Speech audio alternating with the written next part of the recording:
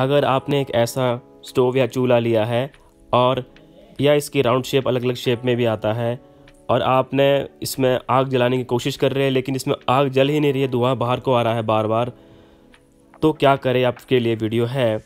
और दूसरा, अगर आपने चूल्हा ले लिया था, पहले अच्छी आग जल रही थी इसमें, खूब अच्छी, लेकिन अब आग अच्छे से नहीं जल रही या फिर जल ही नहीं रही, अब आप कोशिश कर रहे हैं तो भी ये वीडियो आपके लिए है कि कैसे इसमें आग अच्छे से जल सकती है।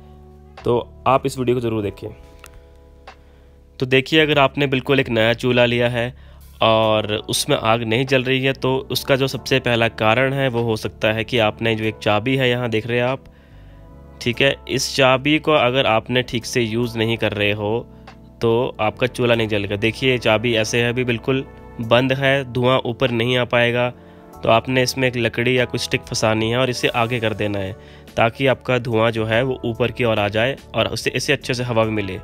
अगर आप इसे खोल देंगे तो ये अपने आप ही बंद हो जाता है। तो इसमें लकड़ी फंसाना ज़रूरी है या कोई स्टिक फंसाना ज़रूरी है और टेढ़ा करना, ताकि आपका जो हवा है वो ठीक से आ जा सके। दूसरा, आपको अपनी पाइप को देखना है कि पाइप की जो डायरेक्शन है बाहर की वो ठीक होनी चाहिए, कहीं उसमें बारिश का पानी ना आए तो इस वजह से भी आग बुझ सकती है आपकी जलेगी नहीं। तो ये दो रीज़न दो रीज़न रहते हैं, जो मेन रहते हैं।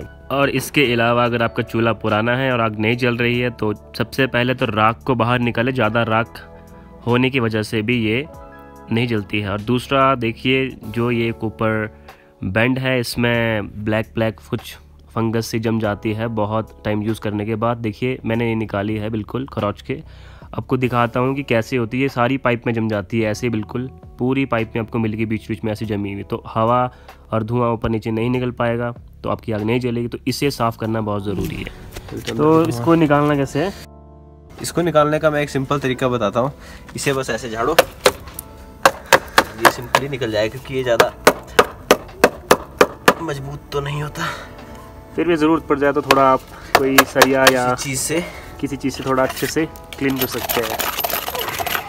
ये इसके अंदर दिखाइए।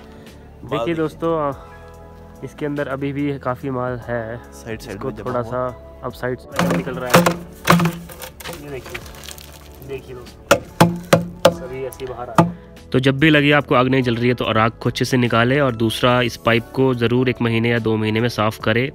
तीसरा जो है पाइप की फिटिंग अच्छे से करें ताकि आपका जो बारिश का पानी है वो उसमें ना जाए और अच्छे से धुआँ भी अंदर बाहर आए।